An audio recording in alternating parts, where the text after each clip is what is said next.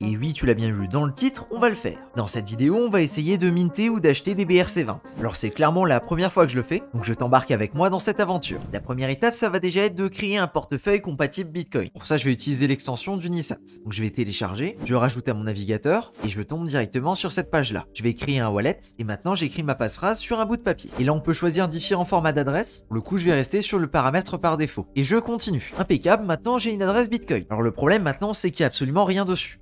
Un premier temps, je vais m'envoyer de l'argent. Pour ça, je vais utiliser un vieux compte que j'ai encore sur Infoset. Et on va commencer par faire une transaction test avec 2000 Satoshi, histoire de voir si déjà je reçois bien mes cryptos. Bon, a priori, il y a un retrait minimum de 30 000 Satoshi, donc on va utiliser ça. Impeccable, ma demande a été prise en compte. A few hours later. Bonne nouvelle, j'ai effectivement reçu mes bitcoins sur ce nouveau wallet. Alors si tu te poses la question, j'ai environ envoyé 220 dollars. Alors il y a trois choses que j'aimerais tester aujourd'hui. Je veux voir pour déployer un BRC20 juste pour le fun, je veux voir pour minter un BRC20, et ensuite on va voir pour acheter soit un BRC20, soit un NFT sur Bitcoin. La page qui va nous intéresser c'est Inscribe. Ça permet directement d'inscrire sur un Satoshi. Le prix de ce que tu vas inscrire va dépendre de la taille du fichier. Par exemple ici j'ai demandé le prix pour inscrire le cryptomage avec les airdrops, et il me renvoie un prix d'inscription à environ 200 dollars. A l'inverse, si je veux juste inscrire mage.sat, eh bien je vais venir payer 3 Donc on va regarder ce qu'il nous propose si on essaye de créer un BRC20. Donc ici, on va pas minter quelque chose, mais on va effectivement venir le déployer. Je sais pas, on va venir l'appeler CRMG. Et je vais venir mettre une limite par mint à 10 000. C'est-à-dire que chaque fois que quelqu'un va essayer de minter ce token, eh bien la transaction va lui en renvoyer 10 000. Suivant. Et donc là, on est environ sur 3,22$ de frais. Submit and pay. Et je vais payer avec mon wallet Unisat. Ah, il a l'air de pas trop aimer. Ah, j'ai compris pourquoi ça a bugué. Mon wallet s'était déconnecté parce que j'avais pas fait de transaction dessus. Ah yes. Et là, ça a l'air de fonctionner. Donc je signe et j'envoie. Impeccable, d'avoir un coche vert. Et quand je vais dans mon wallet Unisat, j'ai une transaction qui est non validée. Juste ici, unconfirmed. Alors j'imagine qu'il faut patienter. Donc ça, c'était la première chose sur ma liste. Maintenant, ce qu'on peut faire, c'est aller dans BRC20 et venir minter des BRC20. Comme tu as pu le voir, n'importe qui peut déployer un token et c'est assez simple. Cependant, toute la supply d'un token n'est jamais déployée d'un coup. Plus ici, dans l'onglet BRC20, tu peux voir la liste des BRC20 qui sont pas encore mintés en entier. Et on peut choisir d'en minter quelques-uns pour le prix d'une transaction. Et on a également accès à d'autres informations comme le nombre de holders et le nombre de transactions qui sont passées avec ce BRC20. L'idée, ça va donc être de minter ceux qui ont un maximum de holders par rapport à leur avancement. Et j'en ai déjà plusieurs en ligne de mire. Donc écoute, on va essayer de minter du Hammock. En haut à droite, j'ai mint directly, donc j'imagine que c'est ça. On va minter une fois. Je vais donc cliquer sur Next. Et encore une fois sur Next. Et on arrive de nouveau sur la même interface, là où je vais payer environ 3 dollars pour minter. De nouveau avec le Unisat Wallet.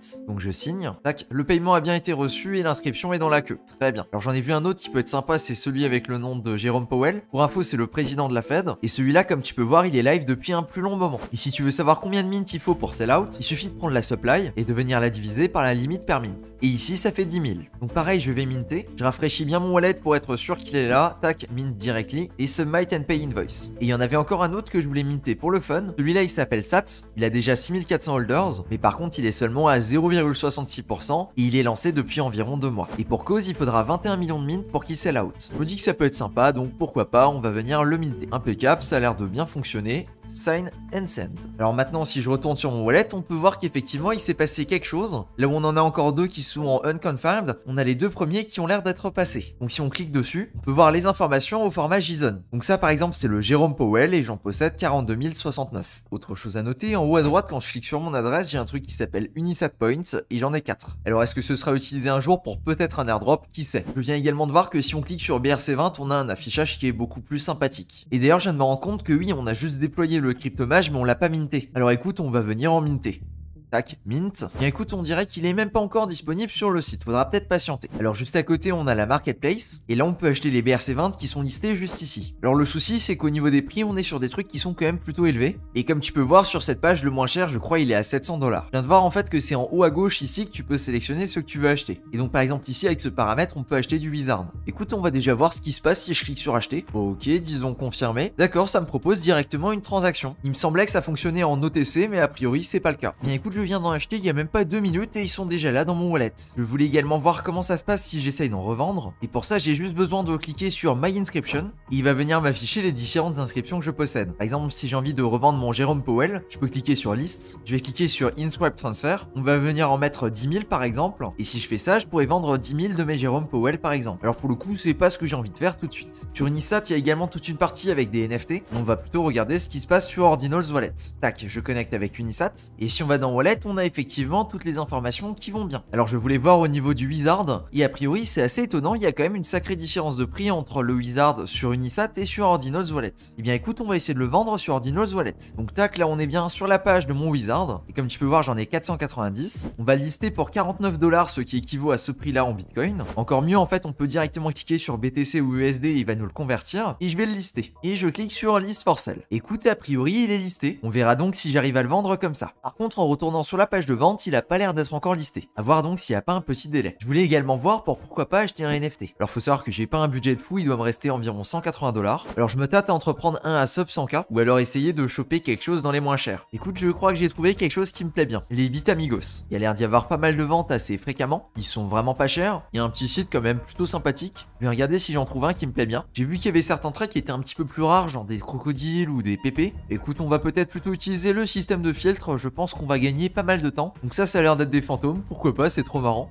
Oh yes, il y a même des ballons. Malheureusement, j'ai pas pris assez pour choper une frog. Eh bien écoute, on va finalement prendre un classique et celui-là me plaît bien, donc on va prendre celui-ci. Ah, il a pas l'air de vouloir. J'ai essayé de reconnecter mon wallet. Peu importe ce que je fais, j'ai cette erreur. Ce qui est assez bizarre parce que je suis bien connecté et j'ai pas d'autres applications qui pourraient rentrer en conflit avec. Alors on peut encore essayer un autre site qui s'appelle Ordinals. Donc on va essayer de se connecter avec Unisat de nouveau. Et écoute, sur Ordinals, ça a l'air de fonctionner aussi normalement. Mais vu que le prix est 5 fois plus élevé sur Ordinals, je vais passer mon tour. Alors n'hésite pas à me dire en commentaire si t'as peut-être une explication de pourquoi ça passe pas sur Ordinals Wallet. Et même sur leur Discord, a priori, il y a qu'une seule autre personne qui a eu ce problème et elle a pas reçu de réponse. En tout cas, c'est plutôt dommage et je vois pas trop ce que je peux faire de plus. Peut-être essayer encore une autre fois avec un autre navigateur. Globalement, je suis plutôt content. Je m'attendais à me retrouver bloqué très rapidement avec des transactions qui prennent 20 plombes à se valider, mais comme t'as pu le voir, au final, assez rapidement, les cryptos ont été livrés. Au niveau des frais, même si on n'est pas sur quelque chose qui est aussi élevé que ce qu'on peut avoir sur Ethereum, on reste aux alentours des 3-4 dollars de frais par transaction, ce qui mine de rien reste quand même relativement élevé. Donc si t'as envie de tenter l'aventure, prends ça en compte et évite de déplacer seulement quelques dizaines de dollars. À mon avis, si t'as pas 200 dollars minimum, ça sert pas à grand chose. D'un point de vue expérience utilisateur, c'est quand même beaucoup plus simple que ce à quoi je m'attendais. M'attendais même à faire des transactions en OTC en passant par des Discord chelous, mais c'était pas le cas. Et j'ai pu acheter, et même a priori vendre, sans plus de soucis que ça. Donc vraiment, je suis agréablement surpris dans le bon sens, parce que je m'attendais à avoir une expérience bien plus complexe. Un petit peu déçu sur la fin parce que je voulais acheter NFT, mais a priori ça voulait vraiment pas. D'autant plus que c'est assez rageant de voir que ça fonctionne parce qu'on voit très clairement le nombre de ventes qui augmente. Cependant, il faut bien garder en tête qu'on est sur quelque chose de très récent et que donc les bugs sont monnaie courante. Voilà donc qui conclut cette petite aventure qui en fait est quasiment un guide. Et je pense très clairement qu'on aura l'occasion de refaire une vidéo là-dessus dans les semaines ou les mois à venir. Parce qu'il y a très clairement beaucoup de choses qui se passent sur Bitcoin en ce moment. Et sur ce, merci à toi de ton attention et on se retrouve bientôt pour une prochaine vidéo.